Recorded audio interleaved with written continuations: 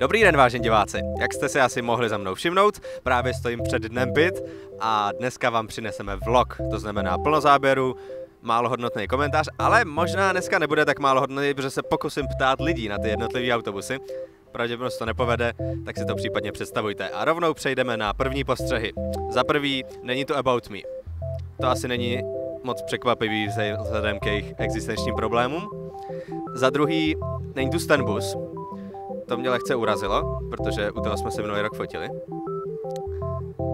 A za třetí, dopravci si, soukromí dopravci si tentokrát vybírali svoje nejlepší autobusy, který sem položej. A tak se stalo, že je tady třikrát kloubový man. Tak ještě uvidíme jednou.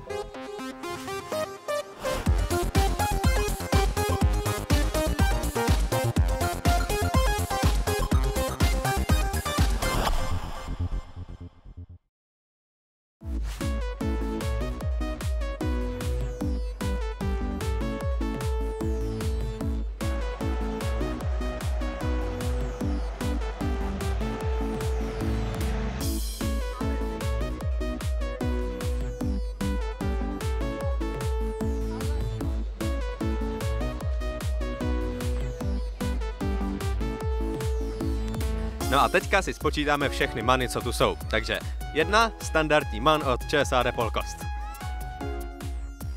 Dva. Kloubový man od Martina Uhera. Jdeme dál.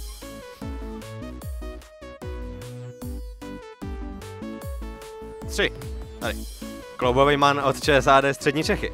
Takže jsme napočítali tři many. Předpokládám, že ty dopravci byli oslovený na tuhle akci tak, že si se můžou přivízt, jaký autobusy chtějí. To znamená, že oni sem přivezli nějaký autobusy, který považují za své výkladní, za ty dobrý. A mezi 25 autobusama tady máme tři many, přičemž v PIDu jezdí asi tak typu 30 manů dohromady. Myslím si, že to o kvalitě těch autobusů něco vypovídá.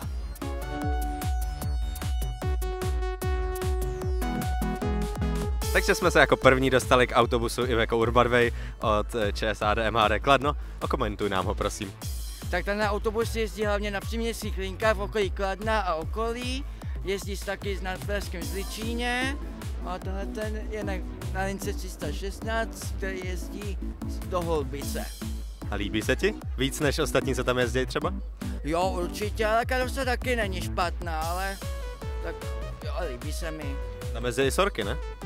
A jo, jezděj taky. A ty jsou horší nebo lepší? No já jsem s nimi ještě nejel, ale já si myslím, že jsou horší.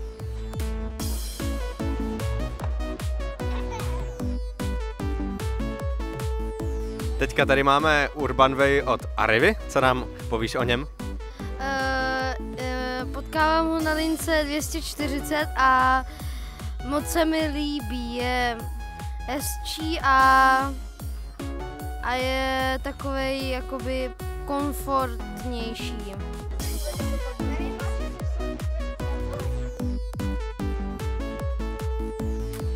Autobus Berghof Ambassador, ten okomentuju já. Koupil ho Bosák asi před 10 nebo 15 lety, tehdy to byl jeho první nízkopodlažní autobus a jezdilo to na lince 264 ze sídliště Řepy na Zličín. A když se na ně podíváte, to fakt jako není úplně typický český autobus. Je dovedený z Německa. A očividně to tehdy fungovalo tak, že Bosák bus byl malý dopravce a hledal nějaký autobus co nejlevnější nízkopodlažní, který si koupil a prostě si pořídil tohle. Mě to fascinuje. Dneska už to patří Ary ve střední Čechy, která Bosáka kdysi koupila. Mám tu Filipa Drápala a nedá mi to, než se nezeptat, proč tu teda není Stenbus dneska. Tak není tady více dopravců, eh, někteří dopravci bohužel museli odmítnout kvůli třeba poruše autobusu, někteří kvůli nedostatku personálu, protože sami mají problém obsadit eh, svoje kmenové linky, takže právě třeba Stenbus odmítl právě z důvodu, že potřebuje eh, vykrýt hlavně ty své kmenové linky na sobotu, takže bohužel nesehnal záložní řidiče. A pak tu máte i dopravce, který nejezdí minimálně licenčně v PIT. Jak se to povedlo? Myslíte teď, které konkrétně dopravce? Je tu třeba Luděk Špacír. Tak to jsou právě zástupci subdodavatelů, kteří se vlastně na pražské integrované dopravě už od Loňska podílejí, ať u dopravce Arriva nebo ČSAD MHD Kladno, takže právě i jsme pozvali některé z těchto uh, subdodavatelů, kteří mají poměrně velký podíl na linkách pražské integrované dopravy a kteří zajišťují uh, tu službu podle našeho názoru dostatečně kvalitně. A tak se ještě zeptám, jak vůbec máte reakce těch dopravců, jsou tady rádi? Tak dopravci, jednak je to pro ně příležitost, jak se prezentovat před lidmi, eh, možnost třeba nalákat některé nové řidiče. Eh, samozřejmě záleží dopravce od dopravce.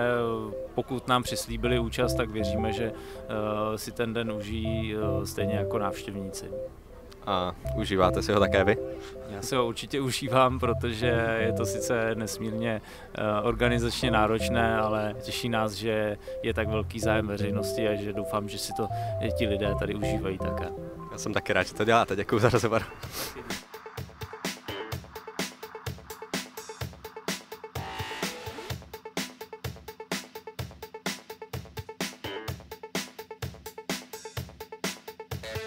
Solaris Urbino v zelené verzi od ČSAD Polkost.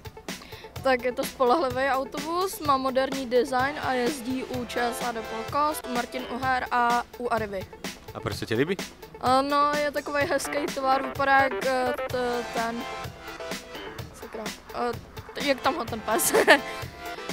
Sice tu mají svoje nejlepší autobusy, ale na detaily se asi nezaměřovali, jelikož Polkost má tady pneumatiky skoro světé.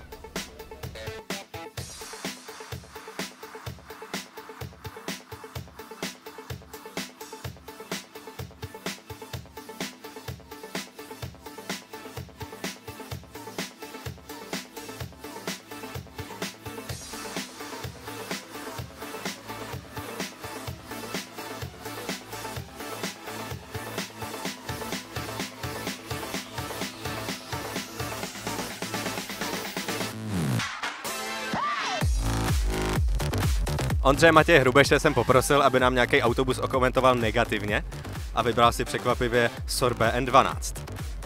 Tak, je to vlastně ta největší špička, co existuje v pražské integrované dopravě, protože to je nejnovější autobus, který má dopravní podnik. Těchto autobusů nakoupil 50 a jsou naprosto skvělý a luxusní, protože nabízejí pouze dvoje dveře. Dopravní podnik je vypravuje na příměstské i městské linky a jsou naprosto dá se říct nekoncepční, protože vepředu mají úzké dveře, pak mají jedny dveře uprostřed, uvnitř interiéru je plno sedaček, eh, zároveň je to takzvaný hrbáč, ale toto není autobus eh, na dopravu v Praze. To může jezdit někde mezi vesnicema, na nějaké čtyřstovce, to si umím představit, ale ne, že to jezdí na linkách 174, 351, 352, zkrátka linky, kde jezdí plno lidí a vlastně projíždějí ještě jakoby zastavěným územím i Prahy. A co by si představoval, že by měl místo to koupit na tyhle linky? Myslím si, že v dnešní době je daleko lepší, pokud teda má to být SOR, protože chápu, že asi nějakým způsobem Praha a SOR spolu kamarádí víc. Vypadá to tak, tak ale SOR umí i jiné autobusy.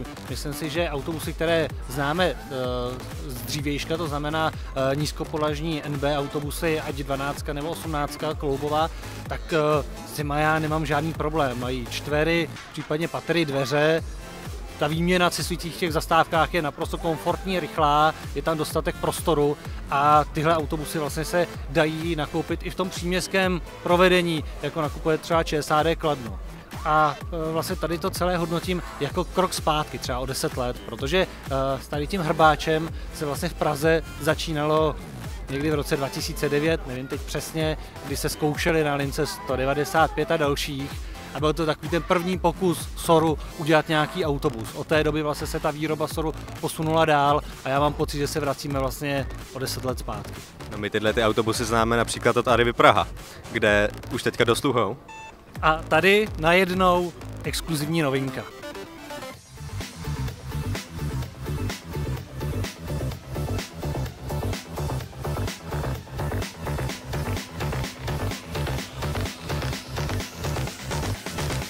Jinak tady má dopravní podnik vystavený poměrně kladně hodnocený autobusy, například Citybus, okomentuj nám ho prosím.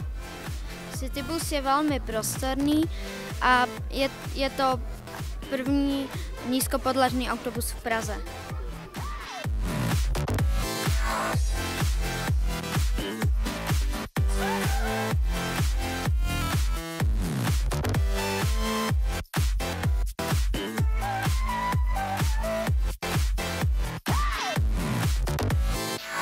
Kromě linky 58 dopravního podniku, kde jezdí elektrobus a trolejbus, tady stojí elektrobus Arrivy. Tak nám o něm něco pověz. Takže máme tady elektrobus, jak už Vítek říkal, společnosti Arriva, který jezdí na Pražské Budějovické a převáží cestující, nutno říct, že zadarmo, do kancelářských oblastí, do BB centra. Tak já tě poprosím, abys teda porovnal tyhle ty dva autobusy dopravního podniku a Arrivy. No tak eh, určitě, čeho si jde všimnout na první pohled je, že tento autobus je kratší kvůli velkému úložišti baterií v zadní části vozu a zároveň je tu teda jedna nepříjemnost a to je naftové topení, které tento autobus má a na rozdíl od toho autobus dopravního podniku topí čistě elektricky a ekologicky. A dokážeš si představit, že budou takovýhle autobusy jezdit v Praze v budoucnu v nějakém masovém počtu? Eh, Dokážu si to představit eh, velmi dobře a doufám, že budou jezdit nejenom v masivním počtu, ale že budou jezdit jenom tyto autobusy.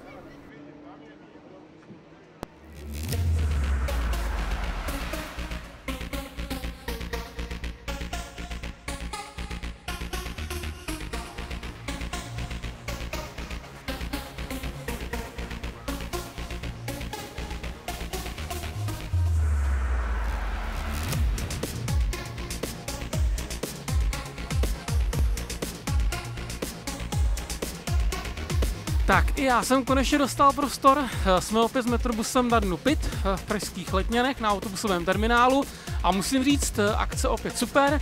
Je tady hodně autobusů, jak staré, tak nové. Je tady plno lidí, prostě je to tady OK.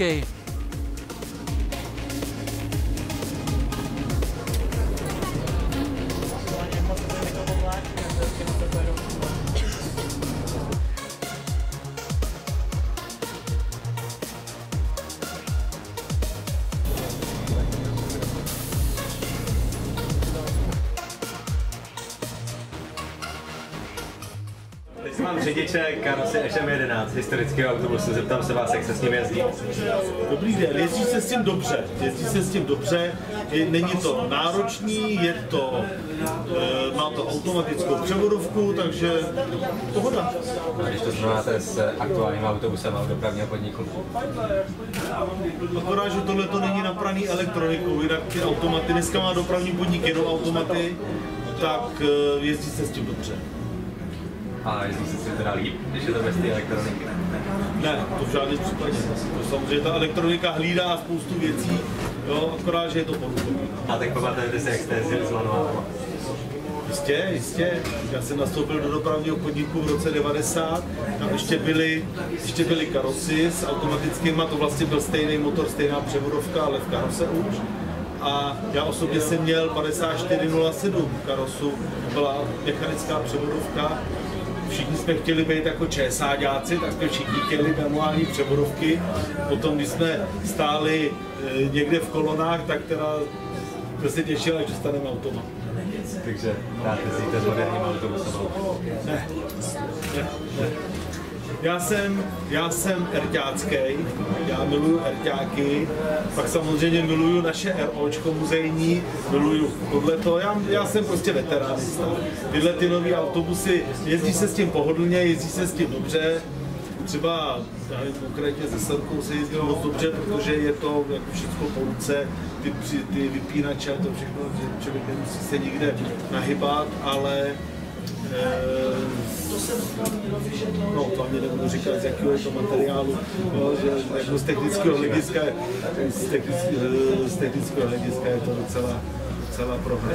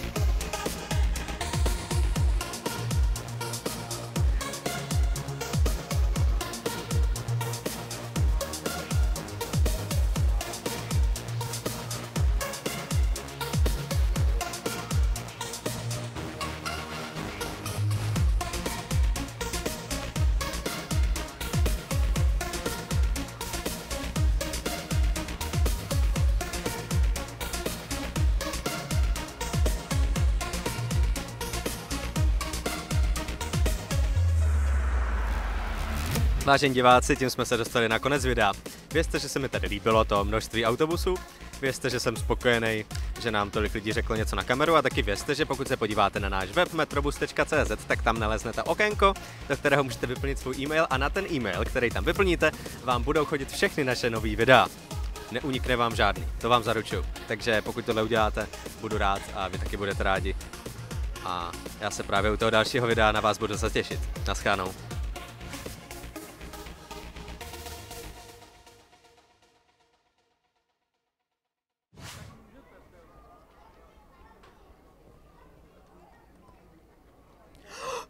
Macháčku, pane Macháčku, prosím vás, můžu s vámi udělat rozhovor, jako jaký autobus se vám tady líbí? A co na to si říkáte? No pojďte, pojďte, pojďte, pojďte, já mám to s váma tak. Tamhle máte kameru, tak jako... Hm. No. Co říkáte na dnešní den pit? No, tak je to poměrně slušná akce, no. Já, ne, já nevím, Jaký autobus se vám líbí? A to, to mám odpovědět, jo, na tohle. Jaký typ autobusu se vám líbí? Typ, typ, typ, no tak asi kloubovej, no. Jaký, jaká značka se vám líbí? Značka, um, asi hlavně. A co říkáte, a co říkáte na, klimi, na klimatizace? Klimatizace, t, no já doma nemám klimatizaci, takže... A můžu se váma vyfotit? Mm, no, tak mm, já nevím, jo, jako... A podpis můžu? No já, já nemám tušku, Já bohužel, musím za no. mamkou, pojďte, Já- se, pojďte se mnou, pojďte se mnou, já to, já to udělám.